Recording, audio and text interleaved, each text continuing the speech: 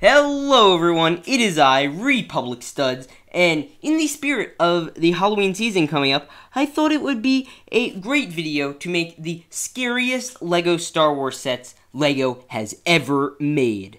Now, I don't think this is exactly have to make the sets themselves scary, but it definitely has to be the, at least the scene surrounding it, or parts of the set, or the figures in the set. I can't wait to get into this. The spoopy season is among us, so please remember to subscribe and let's get right on into the top 10 scariest sets LEGO has ever made. For our 10th scariest set, we have set 10018, the Darth Maul bust. Now, this set is super creepy. We already know how creepy Maul as a character is in general, and I was debating on between putting this here or his buildable figure, which is also notably very creepy. But this thing is only number 10, and we've maximized these creepiness by a thousand. And I don't know what it is. Is the scary eyes, the weird teeth, the fact that it's a human head built in Lego, or the horns. I don't know. It's all creepy, and I think the face says it all. But the fact that it is only number 10 is insane. And let's move into number 9. For our next scariest set, we have the Droid Tri-Fighter at number 9. Now, obviously, this set isn't very scary in itself, but what is scary are the figures, unironically enough. You get three of the rocket battle droids, whose main job was to hunt down innocent people in escape pods to kill them to make sure there are no survivors and their clones would just sit in there and be helpless and do nothing and it makes it depressing obviously for those who died and it makes it even scarier for those who know they're out there and have to worry about their pod being squished and not doing anything about it without getting caught. Uh, and I'm genuinely shocked Lego actually made these droids, considering they could have put any droids really in this. But yeah, let's move into the number 8 spot. At number 8, I have the Geonosian cannon, which again, itself isn't scary, it's a Geonosian cannon. But what is scary is the zombie Geonosian, which are super freaky, that was included in this set. I don't know if it's the empty white eyes or the dead torso. These guys were something to be feared in the Clone Wars shows. And the fact that they included like Luminara, who almost got infected, and that was just a whole scary arc, and I hated it, and it was gross and I think they really fit in the realm of you know scary sets. It's a zombie, and it definitely made a good fit for me. And they're one of the only zombie figures on the list in in the Star Wars line. At number 7, I have Emperor Palpatine's shuttle. A little known fact about me is that when I first watched the uh, Star Wars movies in order, my parents didn't let me watch the Order 66 scene or Anakin burning alive. Uh, and that's for a good reason. That scene is really dark and scary. I was scared of it for years after I wa- I first watched it. I watched it like later on when I was like 9 and that freaked me out for like a few years.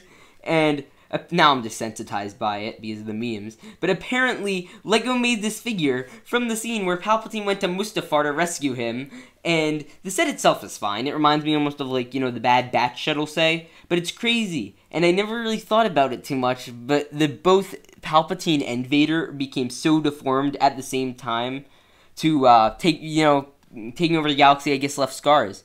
And I think it's absolutely crazy and it is just a scary scene and set.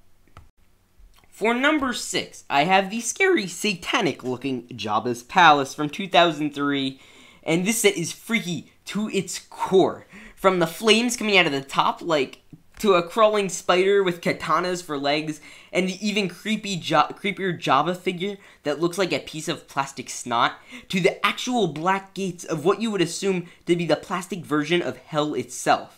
Okay, maybe that's a bit too far of, of an exaggeration, but it is definitely scary, and I don't know how to get it got past its design phase. They also did make a Han Solo like body shrine that they made back then, which I think is also creepy. It's almost like an addition to this set, so I would definitely add that to the list for another creepy set on here. It would I, wouldn't include it on the number, but it is definitely a nice addition to you know really hone in that scariness, and it is just crazy and amazing. For my number 5 pick, we have the Hoth Wampa Cave. This set may even be more gruesome than the original movie scene itself, and that thing was pretty gruesome. We have Luke dangling from the ceiling, and you know, Snowspeeder, that's all fine and dandy. Uh, we see the Tauntaun ribs, which I'm pretty sure is scary itself. But what we don't see in the movie is the random human skeleton body. At no point did we see a person's body in the Wampa Cave that the skeleton that the skeleton would be there to represent. No point.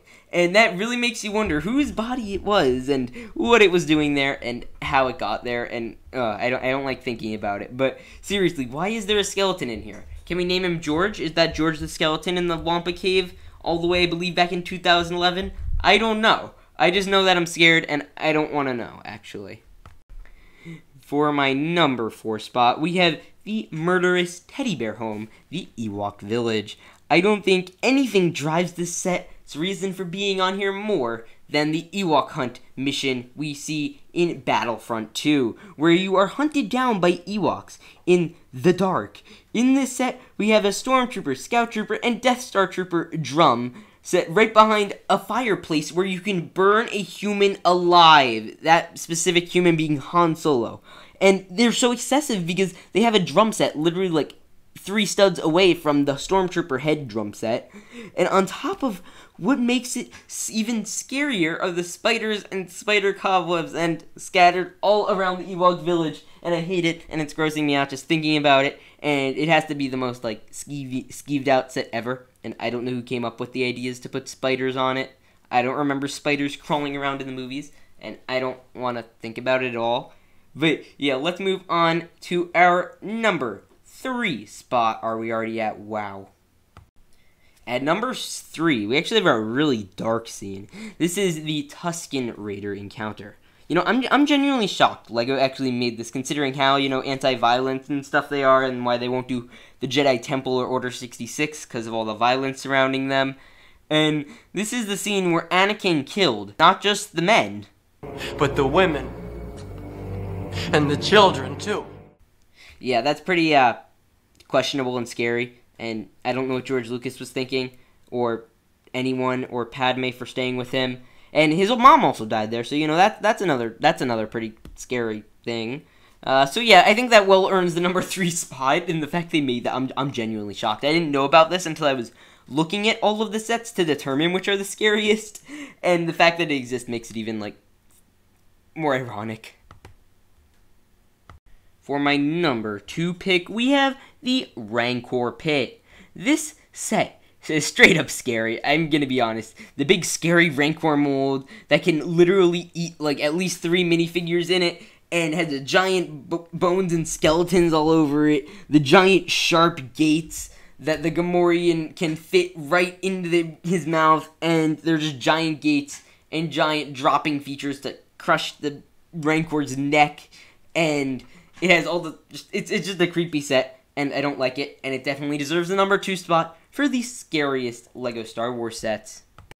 Now, before we get into my number one pick, I have a few honorable mentions. First, we have the AT-ST Raider from the 2019 Mandalorian set, which I think was very menacing in that episode, and it was really something to be feared, especially by the characters with like the red lights in it, and just how you know scary it was compared to how we saw them as stupid little chicken walkers in the movies and I thought that was really cool. We have the Shadow ARF Trooper for being a very cool spoopy trooper, and he's in black, and, you know, LEGO doesn't do that too much.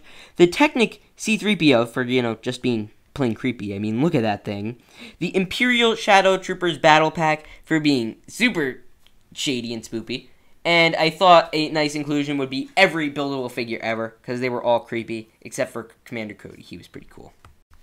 And finally, we have the number one pick, and it is the buildable Yoda sets. Not just the set, it is all of them. Not just the first one.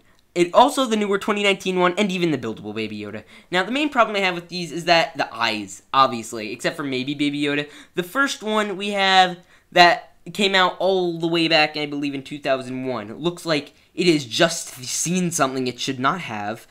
And in the next one, we look like the Yoda had just seen too much. And with Baby Yoda, who's probably one of the better ones, it still looks creepy as anything, and those scary, scary things should be banned from civilization and never seen again. And I honestly don't like them at all. It looks like they. I, I don't know who designed the eyes for these things. I think the mouths got progressively better, but other than that, they're just absolutely terrible. But what do you guys think? I think I probably missed a lot, so please tell me what I did wrong. If you thought all my picks were correct, tell me what order you would put them in. I want to hear all your thoughts down in the comments below. Please remember to subscribe, hit the bell, like, stay safe on Halloween, and tell me what you're going to be for Halloween. I'm, I'm curious to hear. Uh, you know, do all those other things. I will see you all in the next one. Stay safe out there. Peace out, and stay awesome.